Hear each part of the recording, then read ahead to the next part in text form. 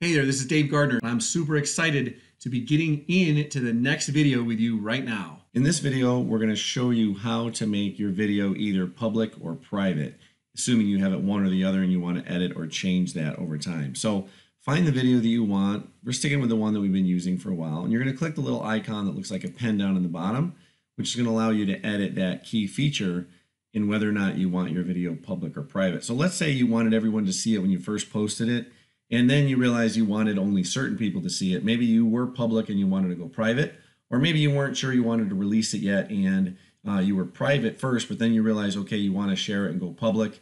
Maybe it was something that you had in a special members area uh, for a little while and it was very, uh, you know, secluded and it was only, you know, reserved for certain people. But then, you know, maybe a couple years later, you decide you wanted to expand out and let the world see it. And so when you go to your edit video function, there's two buttons when you scroll down towards the bottom you can go back and forth between public and private.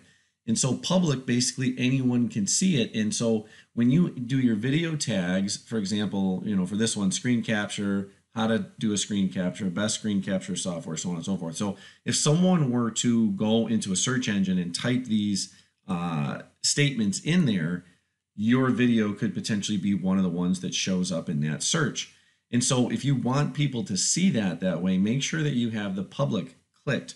But if you don't want anyone to find your video, like I said, maybe it's a special training, maybe it's secluded, or maybe it's just a private family video that you've uploaded to save and you don't want the world to see it. Uh, maybe because you get young kids or you know maybe because of some uh, sensitive issue that you don't want the world to get out there you're going to want to click private and so when you click private what you need to always do at the end just make sure that you actually click the save button and now this video will be private and it should not be able to be found but notice only viewable by you and those who you share the video with. So in the other training videos you can see how to uh, grab the link to share or how to share it on Facebook. So you should still be able to do those functions.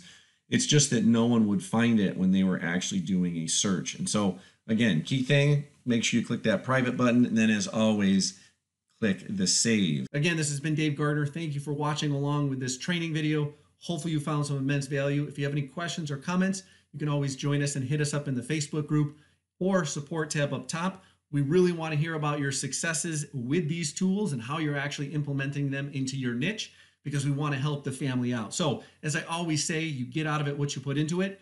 And the big question that I always have for you is with all these awesome tools that you have, what will you create to make your legacy? And what will you create to help others so that you can make a difference in the world today?